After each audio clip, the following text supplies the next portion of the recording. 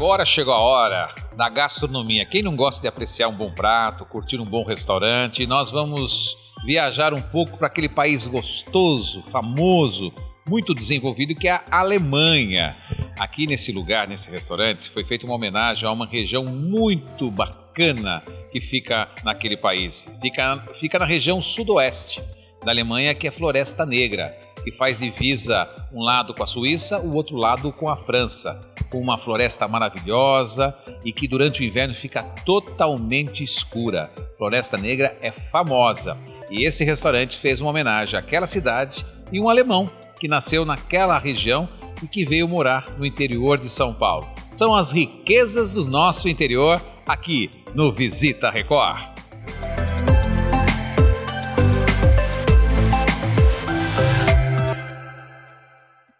E olha que privilégio nosso, esse restaurante acaba de ser inaugurado em Sorocaba. Eu queria apresentar um pouquinho das opções da gastronomia alemã, que é bem diversa, rica, gostosa, saborosa e que graças a Deus Sorocaba ganha o Floresta Negra, que é uma homenagem a um grande chefe de cozinha premiadíssimo, um alemão 100%, que nasceu na cidade de Floresta Negra. Vou falar rapidinho um pouquinho sobre a questão da gastronomia alemã. Tem muita gente que não conhece que muita gente pensa que é só o joelho de porco, né?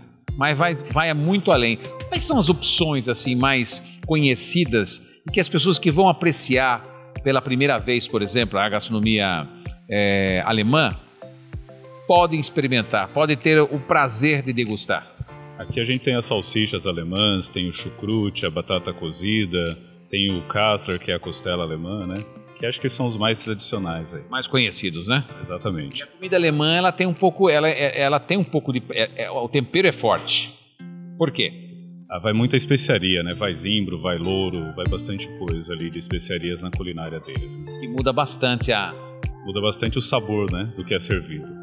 Sempre acompanhando com um bom chopp, né? Ou seja, uma boa cerveja alemã. Você tem muita, tem variedade boa de cerveja? É, nós temos aí algumas cervejas, ainda não as alemãs tradicionais, mas nós temos sim.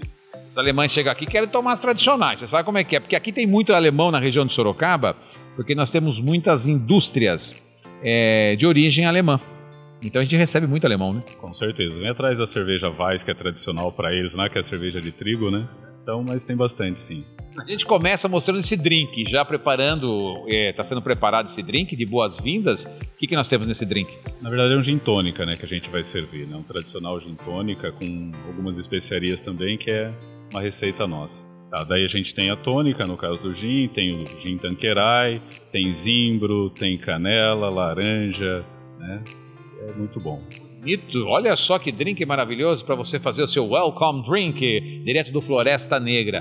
Mas não é só de drink que vive a casa, não. A casa tem outros tipos de bebidas. Inclusive, estamos vendo aí uma garrafa de Steinegg.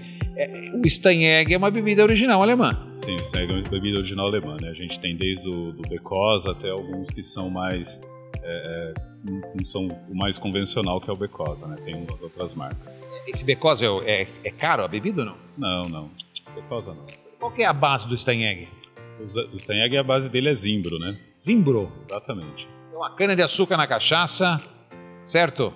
E o zimbro no Steinegg. Exatamente, é isso mesmo. Gozado, né? Cada, cada, cada país com a, sua, com a sua história também na bebida, né? Floresta Negra é uma região pequenininha, mas linda. Tem 160 quilômetros de extensão de comprimento, né? A sua floresta, com 60 de largura é um lugar que muitas vezes durante o dia fica até escuro, porque é muita mata. É um vilarejo praticamente. E o nome Floresta Negra é justamente por isso, né? porque o sol lá fora tá, tá alto e lá dentro na floresta é cinza. Né? E é um lugar extremamente gelado. Como eu disse no começo da reportagem, é um lugar dos relógios cuco, cuco, cuco. Você sabe a história, por que ou não?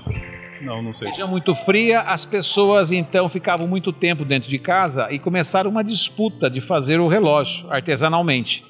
Cada um construindo o seu. E aí virou aquela briga da vizinhança, quem faz mais bonito, e começaram a desenvolver de uma certa forma que ganhou notoriedade no mundo todo. Sim, tradicional, né? Tradicional. Eu adoraria, pelo menos, ter um relógio feito de floresta negra. No Brasil tem muitos lugares para comprar, mas são relógios, é, evidentemente, de, de parede que custam algum valor, né? Porque é feito manualmente. Essa primeira entrada que nós estamos vendo aí, o que, que é?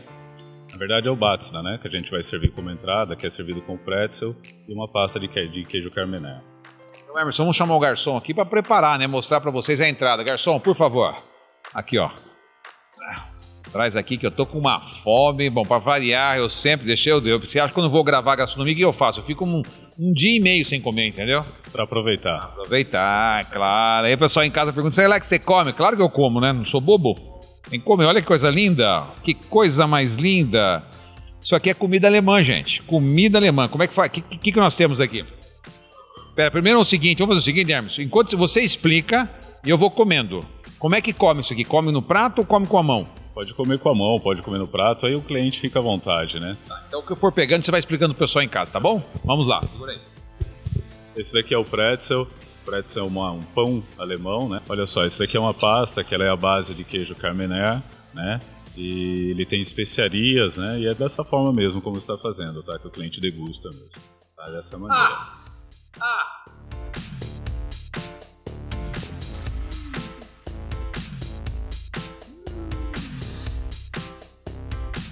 Gente, isso aqui é uma delícia.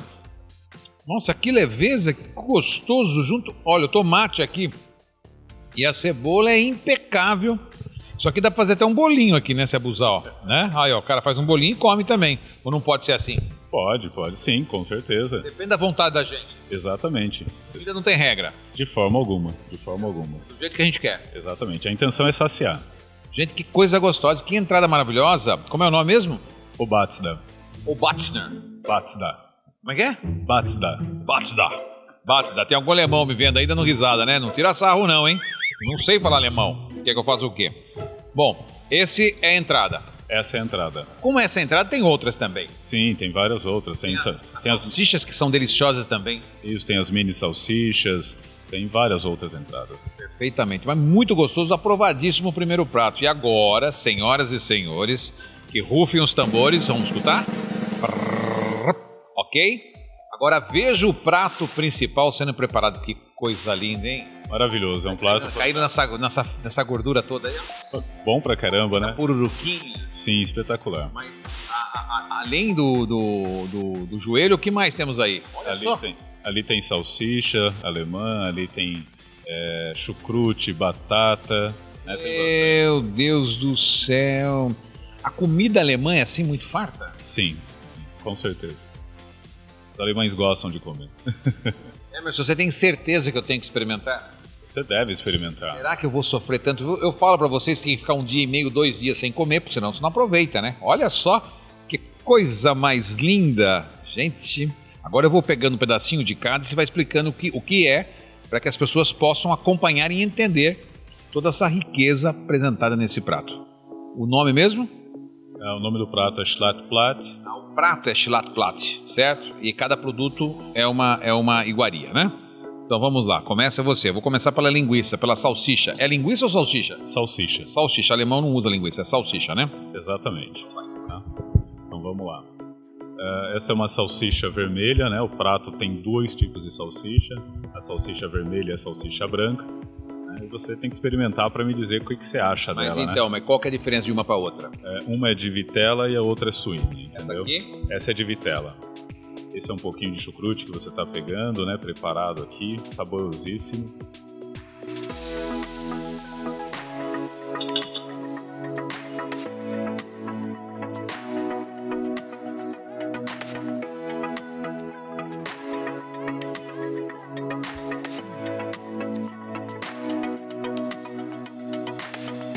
Nossa, o contraste que dá isso, gente. Que delícia! Tem que usar mostarda também, né? Aqui na, na, na vermelha eu coloco a mais escura, é isso? Pode ser. Pode, pode ser. ser. É uma, é uma mostarda alemã? Isso, a mostarda alemã, a mostarda escura, né? Ela é mais forte do que as demais, né? Você vai sentir um gosto picante aí junto com a salsicha.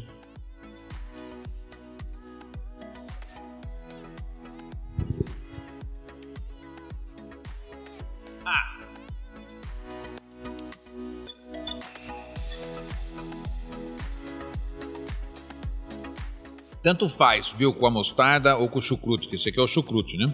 Como é que é preparado esse chucrute? Uh, o chucrute a gente tempera ele é, com bastante louro, né? Com banha de porco, ele fica perfeito, né? Por isso tem esse gostinho, é por causa da banha do porco? Exatamente. Nossa, eu vi mesmo que fazia tempo que eu não comia uma banha de porco e realmente dá outro sabor, além de ser saudável, né? Sim, com certeza. Muito saudável. Agora eu vou experimentar. A, a base da gastronomia alemã é a batata? Sim. A gastronomia alemã tem bastante batata, né? Nesse prato aí ela é cozida, né? Cozida e com especiarias, né? Então é, fica muito saborosa.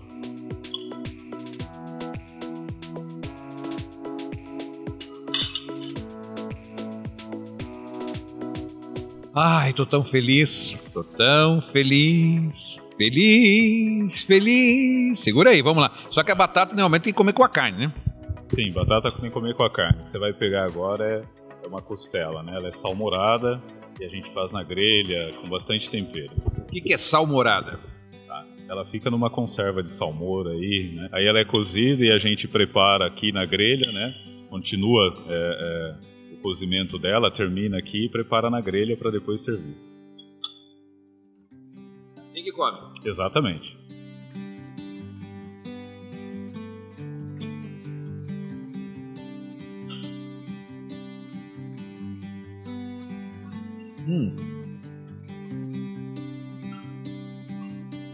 Que leveza que fica a carne. Sim, fica perfeito, né? A textura bem macia, bem suculenta, fica perfeito. Fica muito bom. Carne de porco é uma riqueza, gente. A gente sabe da, como ela gera saúde para as pessoas. Eu conversei com um médico recentemente e ele me disse que de peixe, carne, aves, a opção é o porco.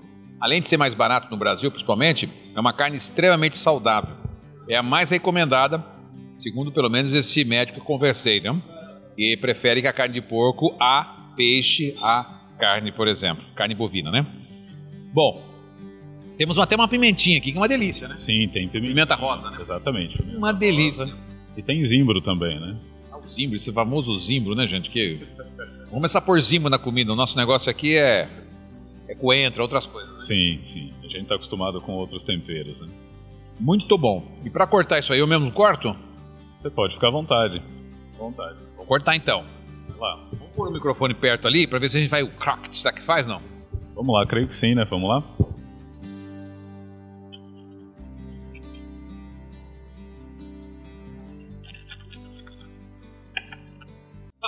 Como é que faz? Da onde vem essa parte? É do joelho do porco, é isso? Como é que é preparado isso aí?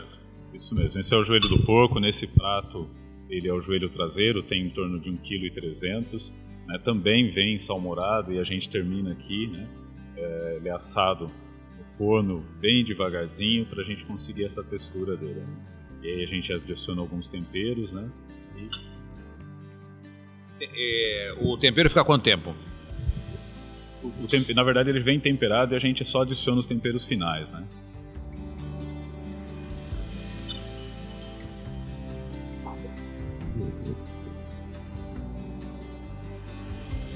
Gente. Gente, é muito, muito bom. O seu Joseph vai estar aplaudindo lá no céu. Tá bom, hein? Quem sabe o Guia Quatro Rodas passa por aqui de novo, hein? Oh, que bom, hein? Ah, Pra dar uma nota, porque o homem ganhou acho que 25 vezes lá. Ah, não, ele é imbatível, né? Ele é imbatível. Está muito bom mesmo. Que maravilha, meu Deus do céu. Se come com chucrute fica delicioso, se colocar a mostarda fica bom, comer com a batata fica bom, de qualquer jeito é bom. É um prato impecável, harmoniza todos os ingredientes aqui harmonizam perfeitamente. Parabéns. Mas é um prato para quantas pessoas? Quatro? Em torno de 3 a 4 pessoas ele serve, né? Serve muito bem, né? É, né? Só para ter uma ideia, quanto custa um prato desse? Em torno de 145 reais aproximadamente. Muito para quatro pessoas comerem isso aqui. É uma experiência gastronômica, vale a pena, porque realmente é uma riqueza. É viajar muito bem dentro da gastronomia alemã. E que país maravilhoso, né? Diga de passagem. Bom, agora, depois de tudo isso aqui, não podemos esquecer da sobremesa. O que teremos de sobremesa aqui, Dr. Emerson? É, a gente vai servir um strudel, né? Que é a massa folhada recheada de maçã, né? Junto com o sorvete. Que seja eterno enquanto dure esse amor. Que dure para sempre.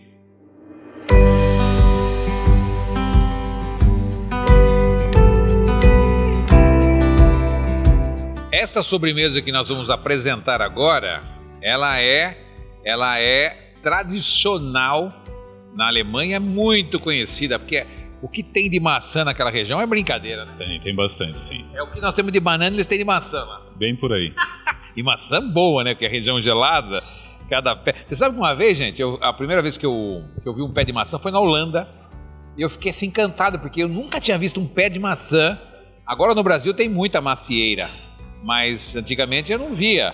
E quando eu vi um pé de maçã, você já viu um pé de maçã na sua vida? Não, ainda não. Vou perguntar, acho que 90% das pessoas que estão assistindo aqui não viu um pé de maçã. É lindo, e aí lembra a nossa infância, né? E maçã, antigamente, era comida de rico. Exato, né? Era caro, agora tem bastante. Graças a Deus o mundo evoluiu, democratizou, cada todo mundo pode comer uma maçãzinha e todo mundo com a maçã pode fazer um strudel. Exatamente, um strudel. Como é que é preparado? O strudel é uma massa folhada, né, recheada de maçã, né? Recheada com creme de maçã. Bastante maçã. Bastante maçã. Tem nada a ver com aqueles que a gente compra no fast food, não. Né? Ah, não, não dá, né? eu não compro, eu prefiro comer assim, num lugar tradicional, porque tem que saber preparar. Sim, tem que saber. Como é que é o preparo dela?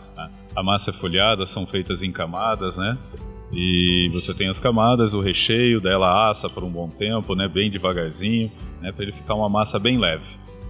Nesse caso ele é servido com um sorvete de creme, né? É... Quentinho. Quentinho, exatamente. E a mistura, né, que a gente faz do quente com o gelado, né? Aí se pergunta, o que, que essa cereja está fazendo aqui no, no sorvete? É porque lá também é uma região que tem muita cereja. Eles, inclusive, têm um licor deles que é com cereja. Não tem aqui no restaurante para apresentar para vocês, mas existe. Então, é uma fruta muito tradicional também na Alemanha e principalmente naquela região da Floresta Negra. Então, chegou a hora, né? Que delícia, gente. Hum. Caiu! Quando cai no restaurante, o que a gente faz? Limpa, pô. Pronto. Acabou. E continua, Não tem constrangimento. E continua comendo. A vida é bela. Isso, e continua comendo, continua é saboreando. Agora eu gostei. Eu quis mostrar para vocês um pouco das iguarias alemã para justamente também promover, enaltecer a tradição, a tradição, a tradicional comida alemã que é realmente muito bacana, além de um povo fantástico, de moderníssimo, avançado, é uma sociedade muito além do, do que a gente já conhece da sociedade mundial. Então, vale a pena a gente poder homenagear, fazer um tributo aí à gastronomia alemã. Emerson, super obrigado. Um abraço ao Shen, que é uma pessoa fantástica, uma história de vida linda também, que abriu o restaurante aqui, que é o proprietário, não está presente hoje, mas que eu respeito muito pela sua história. Eu gosto de gente que vem lá de baixo e consegue construir a sua vida, conseguir a sua história, assim como você com tantos anos de restaurante, né?